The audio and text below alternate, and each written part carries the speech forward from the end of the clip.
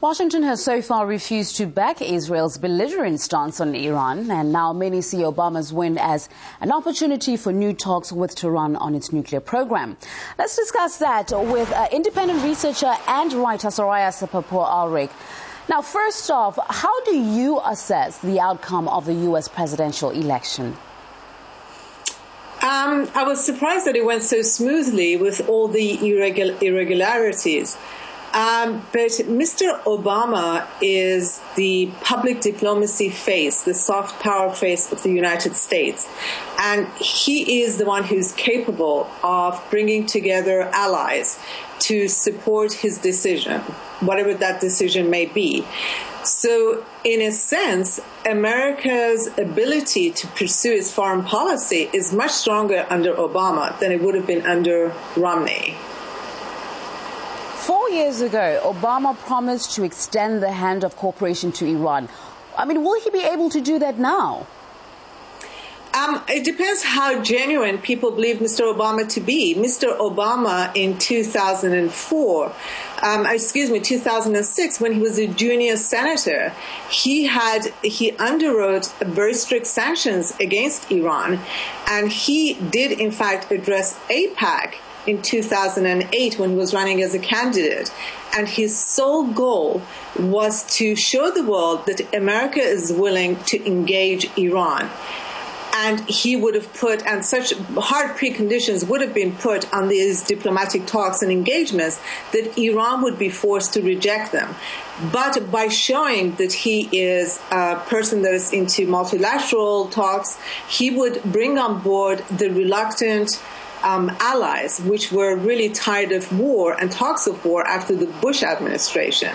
So he's very clever. His foreign policy goals are not any different than the previous administrations. He's just far more clever at uh, accomplishing his goals. The reaction from uh, Tehran on Obama's re-election has been, well, fairly cautious, uh, with some of the country's officials saying relations with America cannot be repaired overnight. But how much willingness uh, to cooperate can we expect from Tehran? Um, I hope that Tehran will cooperate as much as it can, and it has done in the past. But if the whole issue that is being discussed here is Iran's nuclear program, America knows well that Iran does not have a nuclear weapons program. And I think your viewers should be um, should know that if Iran did in fact want to have a bomb, a nuclear bomb, it would follow the path of South Africa, apartheid South Africa, which got its nuclear bombs with help from Israel without an operating nuclear power plant.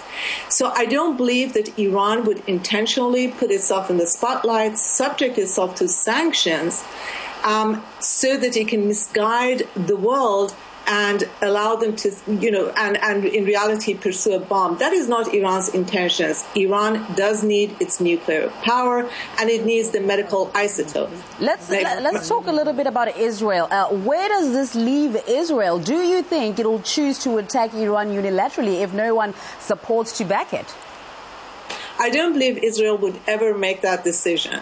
I think this is just talk, and as long as Israel makes such threats, um, the, an attack on Iran would have a, such an enormous impact that a lot of countries would be affected, not just the region, European countries and even America. So I think Israel is making these threats to ensure that that the other nations cooperate with such harsh sanctions, which are immoral sanctions, killing innocent people, as they did with Iraq. But Israel would never, never. I don't. I would bet my money on it that it would never attack. Let's leave it right there. Thank you very much, independent researcher and writer Soraya Sapapor Alrik, for talking to us this morning.